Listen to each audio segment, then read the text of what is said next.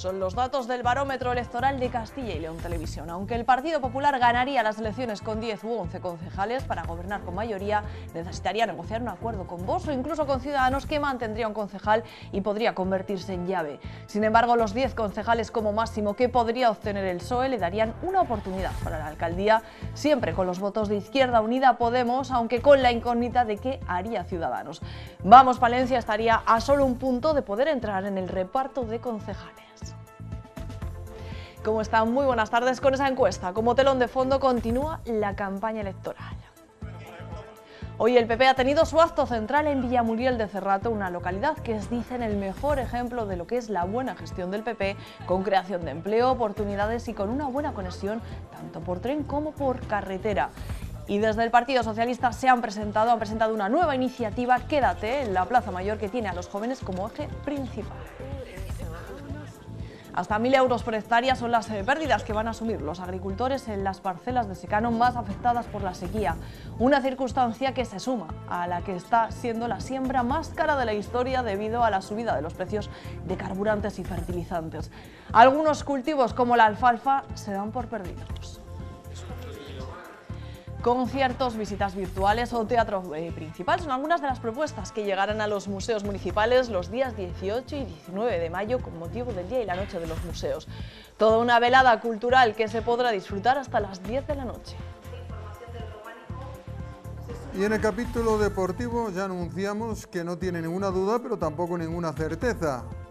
Palencia Baloncesto presentará candidatura a la final a 4, pero hoy hablaremos de la posibilidad y muy cercana de que tanto Palencia Turismo como Palencia Fútbol Femenino, aunque no lo lograron en la cancha, sí podrían ascender en los despachos. Bueno, Palencia Fútbol Femenino sí que lo logró en la cancha, pero no lo dejaron.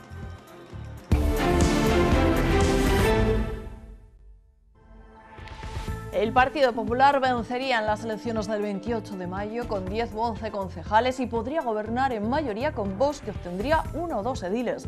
En la horquilla, eso sí, más favorable para ambos, el bloque de la derecha necesitaría al representante que obtendría Ciudadanos si alguno de los partidos perdiese uno de sus ediles. Ese es el titular que nos deja la segunda parte de la encuesta que Sigma 2 ha hecho para Castilla y León Televisión referente al Ayuntamiento de la capital palentina. ¿Qué más eh, datos refleja Álvaro Lantada? Pues nos cuenta también que el Partido Socialista obtendría entre 9 y 10 concejales y que en el mejor de los escenarios podría llegar a la mayoría absoluta siempre y cuando obtuviese el apoyo de los dos que conseguiría Izquierda Unida Podemos y el que mantendría Ciudadanos. Un barómetro que revela el importante papel que van a tener en estas elecciones los indecisos. Con respecto a la valoración que los encuestados hacen de los principales líderes, la mejor parada es Miriam Andrés con un 5,4 la única que aprueba porque el resto suspende. Hay dos escenarios posibles, uno con más probabilidades que el otro. El primero habla de un pacto por la derecha de los 10-11 concejales del Partido Popular con los 1 o 2 que obtendría Vox. Esta horquilla podría en ambos casos hacer determinante al concejal que esta encuesta le da a Ciudadanos. El segundo nos habla de un pacto por la izquierda de los 9 o 10 concejales del PSOE y los dos de Izquierda Unida Podemos. En el mejor de los escenarios sería imprescindible el apoyo del concejal que obtendría Ciudadanos. En términos generales, el Partido Popular ganaría las elecciones con el 38,1% de los votos. El PSOE se quedaría como la segunda fuerza más votada con el 35,6%. Podemos Izquierda Unida irrumpiría en el arco político con dos ediles. Vox podría sumar uno más que en el mandato actual y Ciudadanos descendería de 3 a 1. Vamos Palencia con el 3,9% de los sufragios se quedaría fuera, aunque a tan solo un 1,1% de llegar al 5, necesario para entrar un concejal que de conseguir restaría a Vox o al Partido Popular. Esta última estimación deja el panorama mucho más abierto que la que publicamos en marzo, que daba una mayoría clara de 13 concejales al bloque de la derecha. Por lo tanto, desciende ese bloque de la derecha y crece el de la izquierda, sobre todo el Partido Socialista. Esta que ven es la valoración que los encuestados dan a los candidatos. Tan solo aprueba Miriam Andrés con un 5,4. Por debajo del 5 el resto. El que peor nota obtiene el candidato de Ciudadanos. Con respecto al conocimiento de los candidatos, este es el orden. En primer lugar, Alfonso Polanco, seguido de Mario Simón, Miriam Andrés y Sonia Lalanda. Domiciano Curiel de Vamos Palencia está por delante de Rodrigo San Martín y quinto día de campaña. Abrimos el bloque electoral. Recuerden que el tiempo que le damos a cada partido político viene marcado por una ley, la electoral, que estamos obligados a cumplir.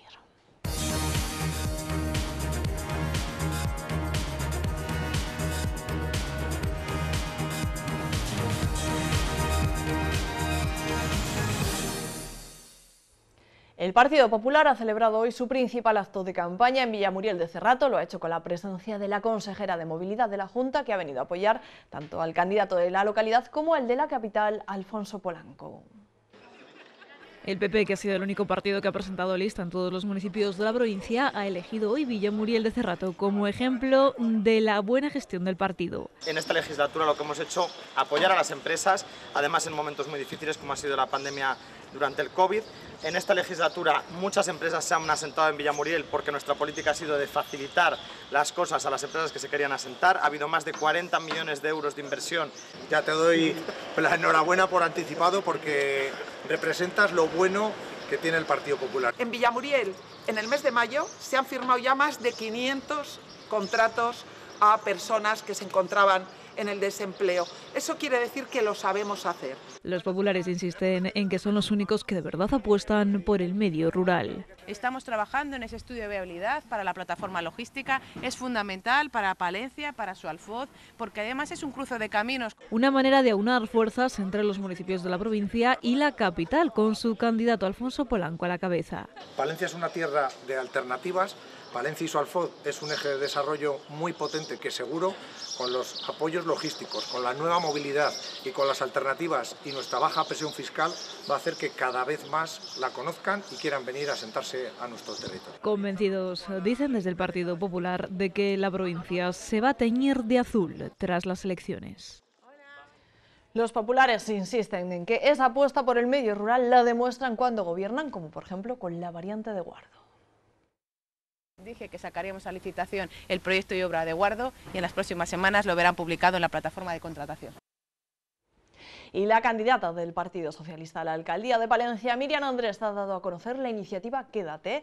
Entre sus objetivos, eh, facilitar a los jóvenes el acceso a la vivienda.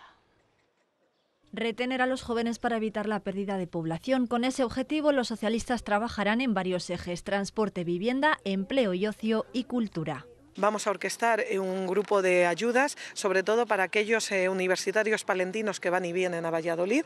Sabéis que el coste anual de ese transporte es alrededor de 600 euros. Y en materia de vivienda buscarán locales céntricos que puedan ser susceptibles de convertirse en viviendas para jóvenes trabajadores. Y sobre las colaborativas de campos góticos, Hemos solicitado hace ya un mes, mes y medio, a la jefa del Servicio de Planeamiento Urbanístico que nos dé un listado de las parcelas ubicadas en el término municipal, tanto parcelas dotacionales como parcelas de uso residencial. Una vez que tengamos ese escrito, veremos a ver en qué parcelas se pueden ubicar, pero desde luego lo que no es de recibo es perderlo. Además, pondrán en marcha un plan de empleo joven para recién titulados, tanto en el sector público como en el privado, y también un centro de negocios para teletrabajar dotado de pequeñas oficinas. Y por su parte, el candidato del PSOE a la alcaldía de Villamuriel, Amador Aparicio, también quiere construir vivienda social en su localidad y dotar de más uso al polígono industrial. De protección oficial en régimen de alquiler o incluso poderlas comprar pero a un precio razonable, ya que Villamuriel somos un pueblo de tanta gente joven. Ciudadanos se va a rehabilitar de forma integral, dicen la estación de Pequeñas, y vuelven a gobernar. Proponen instalar pantallas sonoras en las vías para aislar el ruido de los trenes. En duplicar el parking disuasorio al otro lado de la pasarela, en ampliar y unir la plazuela de la Junta en la Plaza Díaz Caneja con los jardines de la calle Baceos, en unos en un paso grande, amplio y ajardinado, transformar las rotondas de San Lázaro y víctimas del terrorismo para evitar ese atasco Izquierda Unida Podemos optan por hacer municipales distintos servicios como la grúa o la protectora de animales, en este caso para dar un servicio todos los días las 24 horas. También abogan porque todas las escuelas infantiles sean públicas. Y Sonia Laranda ha explicado hoy su programa en una entrevista que pueden ver a las 4 y cuarto y a las 9 y media. No pactará, dicen, sillones, sino programa. Y la decisión de exigir la alcaldía, si están en condiciones, la tomaría Madrid.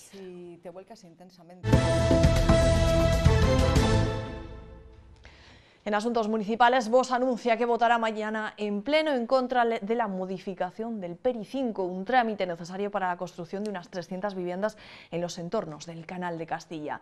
Recuerdan desde Vox que es un problema que arrastra el ayuntamiento desde época de Leodoro Gallego. Pedirán posponer la decisión para elevar a pleno una solución que consiga lograr el equilibrio entre los propietarios y el respeto a esa zona verde. Proponen, por ejemplo, permutar terrenos de la dársena con los de la calle Jardines y evitar así saturar de casas ese lugar. También aseguran que hay que desarrollar los viarios en esa zona para evitar saturar de tráfico. Que tenemos un derecho... Que tenga salidas, que la gente cuando viene y sabe que va a ir a trabajar, sabe que va a encontrar aparcamiento con facilidad, que va a poder ir al trabajo con facilidad. Entonces, siempre, cuando se plantea un PERI, lo primero que tienes que hacer es procurar que tenga salidas. Entonces, eh, mañana el alcalde, nosotros hemos intentado, partiendo de estas premisas de que los propietarios tienen derecho a su aprovechamiento y los ciudadanos, la ciudad, el ayuntamiento, tiene derecho también a diseñar la ciudad que quiere de futuro, hemos planteado la posibilidad de eh, bueno, pues retrasarlo. Al margen de ese asunto, los ecos de la celebración ayer de San Isidro nos dejan otros titulares. El campo cifra en 1.000 euros por hectárea las pérdidas en secano. En toda la comunidad, si se cumplen las previsiones de las organizaciones agrarias, se perderían unos 2.000 millones de euros. La sequía obliga a muchos agricultores a adelantar el primer corte de ese forraje que ocupa gran parte de la superficie de cultivo de la provincia. Además de la falta de agua, este año han soportado las heladas del mes de abril y el ataque de plagas. El primer corte de alfalfa en tierra de campos ha obtenido escasos rendimientos. La sequía y las heladas de las últimas semanas han afectado el crecimiento de este forraje. Este año pensamos que iba a venir bueno, porque la verdad que en invierno llovió bastante y eso a la alfalfa la viene muy bien. Pero luego, vamos, eso, ha dejado de llover, no llueve nada y encima eso, hace por las noches hace frío que la viene pues, pues mala la alfalfa, claro. Los agricultores de Tierra de Campos califican la situación de grave. El primer corte lo han tenido que adelantar en algunos casos hasta tres semanas. Ahora las esperanzas están puestas en los siguientes cortes, pero todo va a depender del tiempo. Aunque el primer corte va a ser ya malo, pero la alfalfa se suele segar dos, incluso alguna vez tres veces, entonces pues podía darse un segundo corte bueno, claro, si lloviese en mayo, pero de momento el tiempo no da, no da lluvia. Esta situación repercutirá en el precio de este forraje, de hecho actualmente ya se paga el doble que en campañas anteriores, una situación que afecta directamente a los ganaderos que verán incrementado el coste del alimento para sus animales. Y Palencia está lista para la noche y el Día de los Museos. Se va a celebrar los días 18 y 19 de mayo, jueves y viernes. El Museo del Agua, el Centro de Interpretación del Románico y el de Victorio Macho abrirán sus puertas de forma gratuita. Visitar el Centro de Interpretación Victorio Macho como nunca antes se había hecho y ver, gracias a las nuevas tecnologías, la ciudad de Palencia desde los ojos del Cristo del Otero con iluminación artística, con música envolvente, con diferentes olores para poder disfrutar del centro a través los sentidos. Es una de las propuestas más atractivas que se llevarán a cabo en Palencia con motivo del Día y la Noche de los Museos. Los tres espacios municipales abrirán sus puertas el jueves de 12 de la mañana a 2 de la tarde y de 6 a 8 de la tarde y el viernes a partir de las 5 de la tarde y hasta las 10 de la noche. Una velada en la que se podrá disfrutar además del teatro en el punto del románico tres pases de teatro familiar a las cinco y media, a las seis y media y siete y media de la tarde. Y de la música celta en el Museo del Agua. Trabajamos pues, pensando en, propuestas, contando con personas que, en las que confiamos que nos, lo pueden, que nos lo pueden hacer. Todo acompañado de sorteos de productos para disfrutar de una jornada en la que se pondrá en valor la cultura a través de todos estos centros.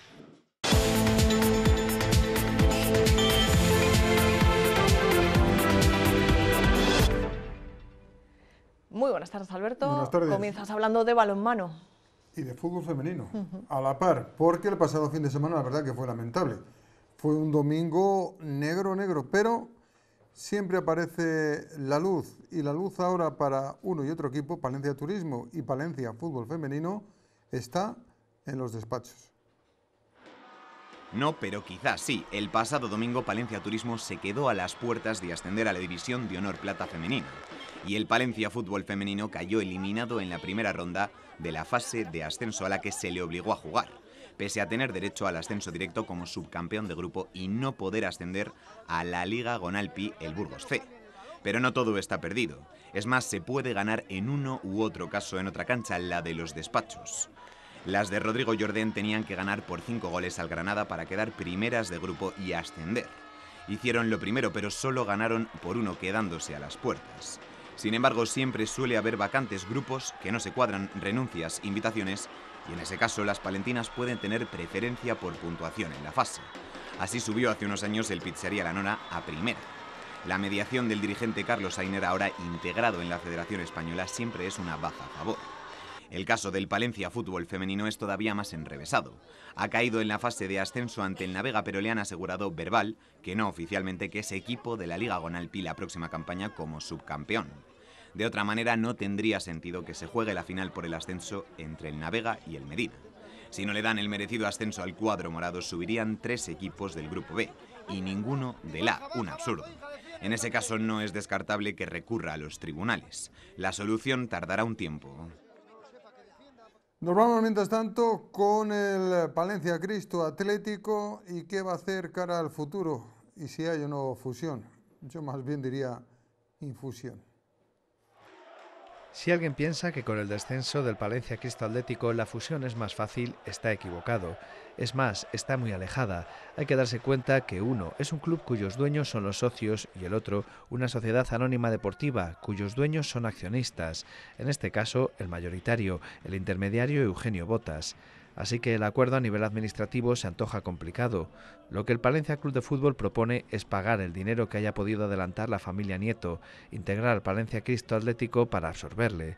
Aunque David Nieto aceptase esta fórmula, que no parece, la decisión no sería suya, sino de la masa social, que muy posiblemente no estaría por la labor.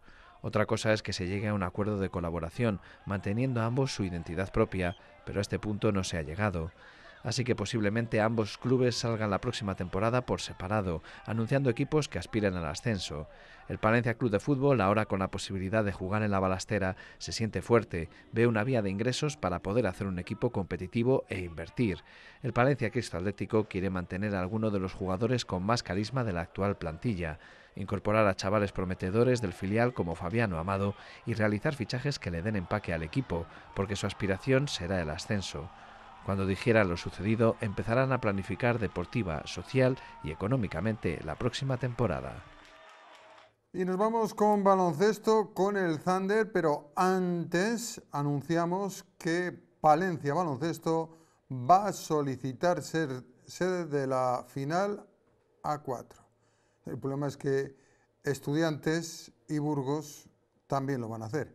Y aquí no prevalece los méritos deportivos. Hasta el martes hay opción de hacerlo, pero ya lo adelantamos. Palencia Baloncesto pide ser sede. El viernes se pone punto y final a la liga regular en la Léboro en horario unificado.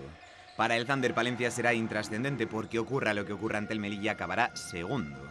Busca otros retos para motivarse como acabar imbatido en casa y tener buenas sensaciones cara al playoff. Melilla, que no se ha perdido ninguna temporada en Léboro desde que se fundó, ya está descendido y poco más se juega que el orgullo. Thunder Palencia además ya tiene rival seguro en el playoff que arranca la próxima semana, el Alicante, noveno en la tabla. Equipo del que llegaron Pedro Rivero y Chumi Ortega, los dos líderes sin duda del proyecto Thunder. En la liga doble triunfo palentino, con autoridad en Alicante y con alguna dificultad en el pabellón. Magrión no jugará ante Melilla, pero sí probablemente ante Alicante, ya que su recuperación de la subluxación del hombro va por buen camino. Hay otro partido del playoff ya confirmado, el Coruña-Guipúzcoa. Estudiantes, Lleida, Valladolid y Burgos empatados a puntos jugarán las otras dos eliminatorias, pero sin definirse todavía cómo se emparejarán. Y nada más, nos vamos rápido, con petaca incluido, a Becerril, porque hoy, desde las 6 menos cuarto, dos partidos del Trofeo Plaspisa. Además son fiestas en Becerril y, Eso y ver a pues, los niños. Disfrutar y muy buena tarde. Igualmente. Y no hay grandes eh, cambios en el tiempo.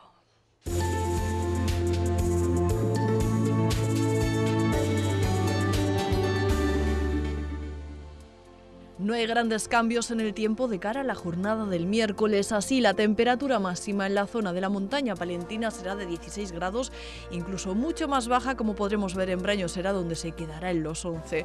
La temperatura mínima, como venimos eh, registrando estas últimas jornadas, será más bien baja, pudiendo oscilar entre los 0 y los 3 grados. Nubes de evolución, pero sin riesgo de precipitaciones a lo largo del día. Lucirá el sol en Buenavista o en Herrera de Pisuerga, también en la comarca de la Vega de Saldaña, donde la máxima será también de 16 grados y la mínima podría caer hasta los 2.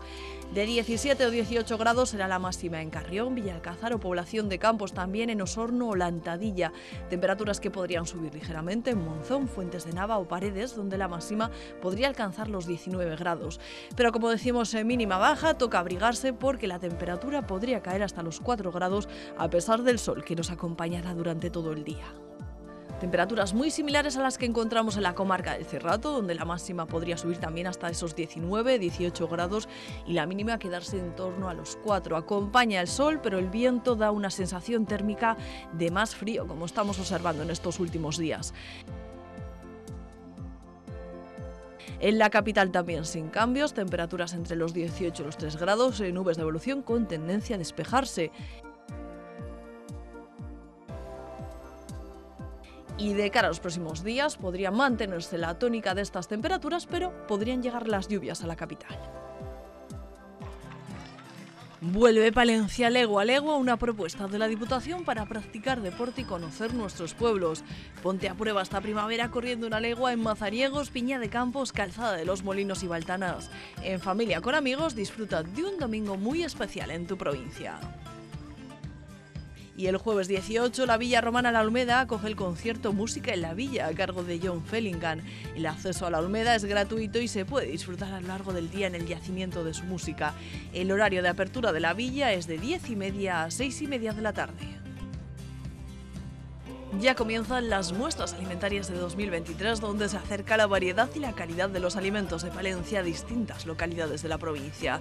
La próxima tendrá lugar el 21 de mayo en Grijota con motivo de la celebración de la séptima Feria del Pan. Más información a las 8, que tengan muy buena tarde.